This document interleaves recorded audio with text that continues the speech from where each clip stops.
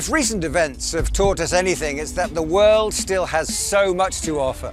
From sandy beaches to the stillness of the countryside, our planet is a truly beautiful place. In this interview, we'll be taking to the road to explore the story behind Indie Campers.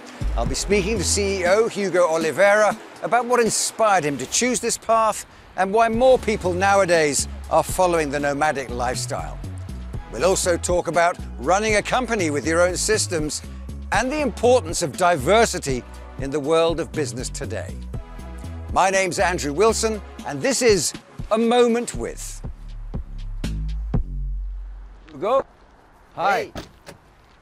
Hi, good to see you. Thanks for having me. No, no, not at all. I'm looking forward to a, a little ride in one of these. Great. Should we get going? Let's hit the road. Great.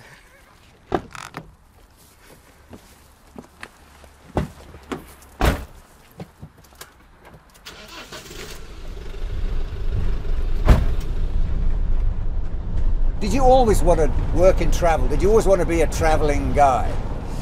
I would say it was because of the um, international community. I was very fortunate to make Erasmus in Italy, uh, where I've met a lot of people. And then I study abroad also in uh, Poland.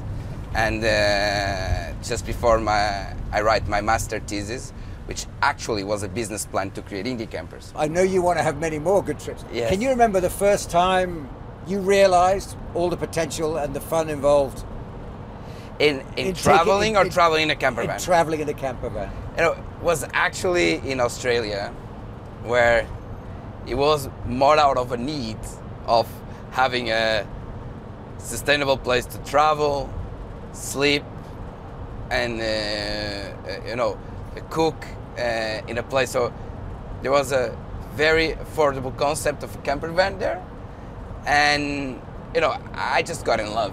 You know, I I could do everything I want. You know, I had to travel, I have to work, but I also could travel, could cook in a camper van, I could sleep in front of the river.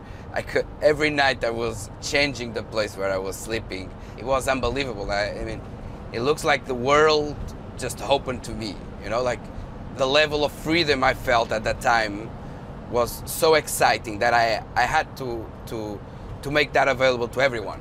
For me, it was so obvious that people needed and, and that democratizing this type of trips was a truly need that, you know, after that trip, I, I you know, I- decided to, to build what is Indie Campers today. Then you came back to Portugal, but you started Indie Campers in Portugal, right? Yes, yes. Uh, right after university, me and a friend, uh, we end up building the first three vehicles, uh, actually six, uh, by ourselves. And we build everything: the platform, uh, the, we designed the operations, we designed the customer service. There was one thing I, I believe we sorted out well since the beginning, which is even though we probably were not giving uh, the best um, vehicles, we were trying to give the best service, and we were really, really obsessed about that. You know, do everything we could do to to make the customer happy. It's common to hear that people had the best time of their lives. I don't think any random hotel can uh, can say that people came here and have the best time of their life. We have the power to change um, the way people have fun, and that's that's a bless.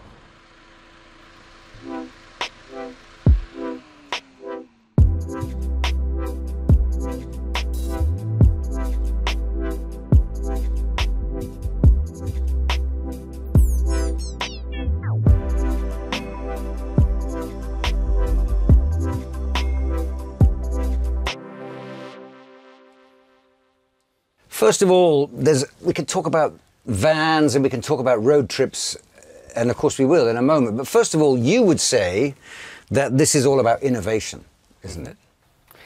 It is. So I think we have camper vans for many years, uh, but I believe the way they were available to to people was not uh, the most, say, affordable, convenient, and uh, to make that possible and to democratize, uh, you need to do some, you need to change some some things, and I believe we we are still a long way to to innovate the way we want to do it.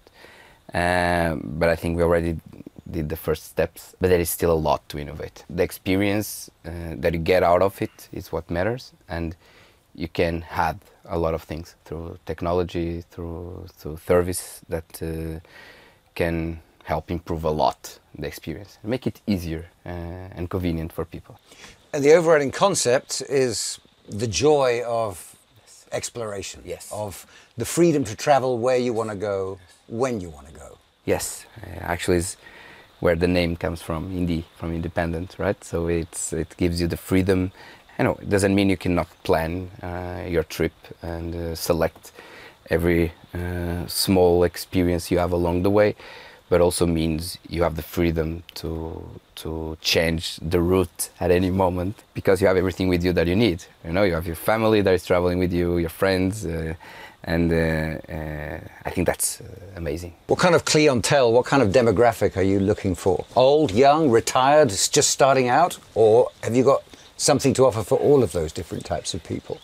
You know, 60% of our customers are doing this for the first time. So they also don't know what they need somehow. So we have to do this journey together, right? So the brand built a platform for everyone. Uh, is uh, digital, so uh, you need to have, uh, of course, access to to digital um, capabilities. To be honest, uh, we have products for everyone. We have destinations for everyone. Uh, we don't really have a segment uh, that we focus on. We prefer to try to focus on the needs from the customers overall, uh, how to improve their uh, experience and how to improve um, uh, the quality of life, the quality of time they will have during their road trip, uh, rather than focus on a segment. You've said that a lot of people they take a holiday with uh, with indie campers or a road trip of some sort, and they remember it as being the best holiday they ever took. Why do you think that is? It's because of uh, the opportunity people have uh, to be free with their with the people they love the most, right? So uh, they can be in the nature, they can be wherever they want, they can travel, they can experiment a different perspective from day to day. So uh, I would say uh, customers come mainly from cities with a lot of noise, with a lot of uh, things going around, and suddenly they have an opportunity to get to know a new place, stopping it wherever they want, and uh, I think that's that's that's amazing. Another thing that strikes me with all these employees that you have now in so many different countries and so many different nationalities on your staff now, diversity is an important thing, isn't it? It's all part of the, of the sustainable future for organizations. We are present in 23 countries. We had around, we have right now around 40 nationalities.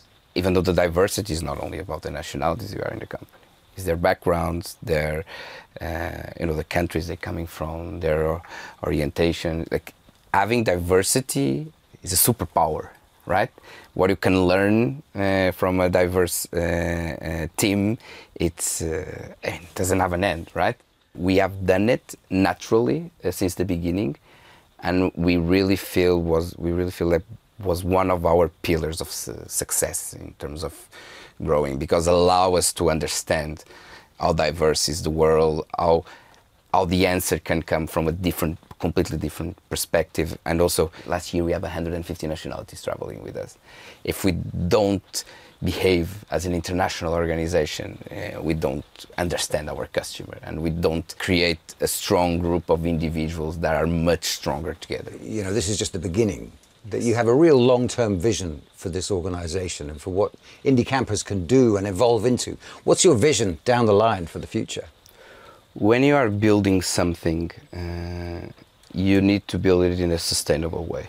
In my opinion, there is no short-term uh, uh, path for for for being success. Uh, I don't consider we are successful yet. Uh, I think there is many steps we still need to go, and I, I think this mindset should never go away uh, because if you really want to build a right organization, you need to build it to last. And I think this is what we are trying to do.